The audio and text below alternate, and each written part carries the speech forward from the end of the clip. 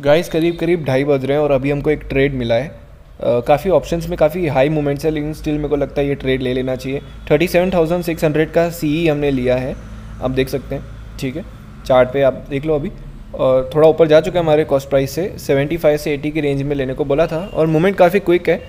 काफ़ी लोगों ने शायद एंट्री मिस भी कर दी होगी तो एटी से एटी सेवन की रेंज में भी ले सकते हैं। मैंने ऐसा बोला हुआ है उनको। ठीक है?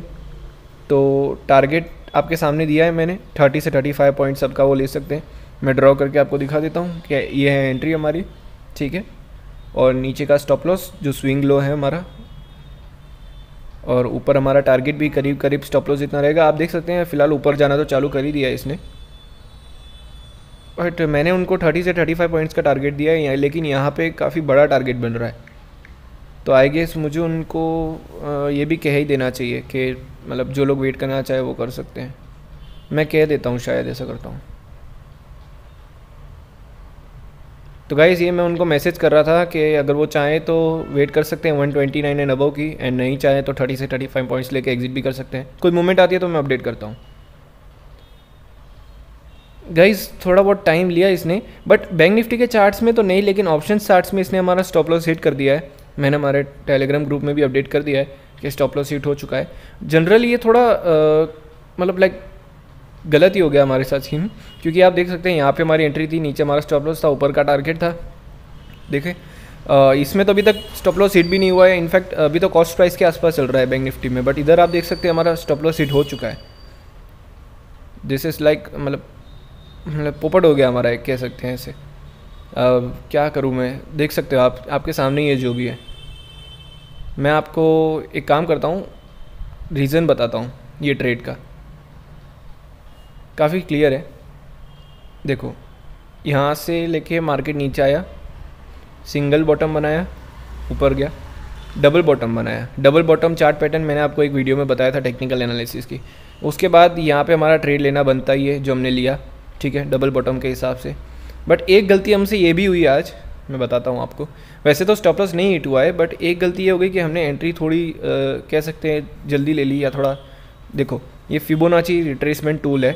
ये बताता है कि क्या क्या लेवल्स पे मार्केट सपोर्ट या रेजिस्टेंस ले सकता है।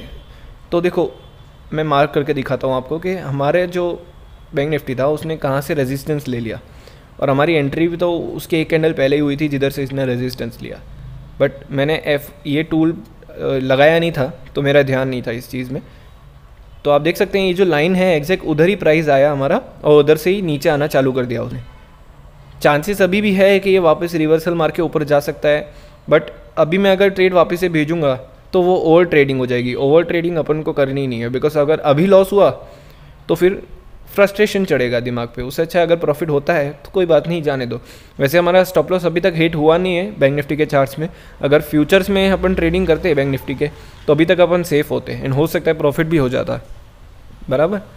तो ये सब थोड़ा चलता रहता है। ट्रेडिंग में इतना ज़्यादा सीरियस नहीं लेना है। मैंने ग्रुप में मेंशन कर दिया है। देखता हूँ, अगर अपसाइड जाता है तो मैं आपको फिर से बताऊँगा। गाइज़ जिसका डर हुआ, वही हुआ। आप देख सकते हैं। प्राइस आप देखो कहाँ तक चला गया है? 179 का हाई बना चुका है प्राइस हमारा यहाँ पे ट्वेंटी सिक्स का लो बनाया, उसके बाद आप देखो 179 का हाई बना चुका है प्राइस इसका मतलब यही था कि हमारा ट्रेड एकदम परफेक्ट था, हमारा एनालिसिस एकदम परफेक्ट था बट गलती हमसे ये हो गई कि हमको हो सकता तो एफआई जो फिबोनाशी रिट्रेसमेंट था, उसके बाद उसके ब्रेक होने पे लेना चाहिए चाहिए था एंट्री या तो फिर फ्यूचर्स में ले लेना चाहिए था बिकॉज़ आज थर्सडे है। थर्सडे के दिन प्रीमियम डीके होता ही है। एंड अभी तो एंडिंग टाइम है, आप देख सकते हो ना, ढाई ढाई बजे तो हमने ट्रेड लिया था, यानी कि प्रीमियम पूरा डीके होना ही था। तो आप देख सकते हो, ये वाली कैंडल देखो, ये वाली कैंडल पे मैंने स्टॉप लॉस लगाया। और चार्ट में तो ये वाली कैंडल के वहाँ ही स्टॉप लॉस लगाया, पर चार्ट में तो अभी तक बहुत दूर है वो स्टॉप लॉस और हमारा कहाँ पे हिट हो गया स्टॉप लॉस मैं आपको दिखाता हूँ। देखो, हमारा तो ये ये वाली कैंडल में ही स्टॉप लॉस हिट हो गया। जबकि ये तो बहुत दूर है स्टॉप लॉस से हमारे, आप देख सकते हो। देखो, यही एरिया में हमारा स्टॉप लॉस हिट हो गया, बराबर? मतलब हमारा एनालिसिस परफेक्ट था बट प्रीमियम डीके की वजह से अपन थोड़ा मार खा गए। अदरवाइज़ देखो टारगेट आपकी आँखों के सामने अचीव हुआ है। देख सकते हैं आप। ये मैंने ग्रुप में भी सबको बता दिया है। तो चलता रहता है ट्रेडिंग में, कोई दिक्कत नहीं। अगर आपको भी प्रीमियम चैनल ज्वाइन करनी है तो डिस्क्रिप्शन में मैंने डिटेल्स दे रखी है, एक बार पढ़ लेना। फ्री ज्वाइन कर सकते हो आप।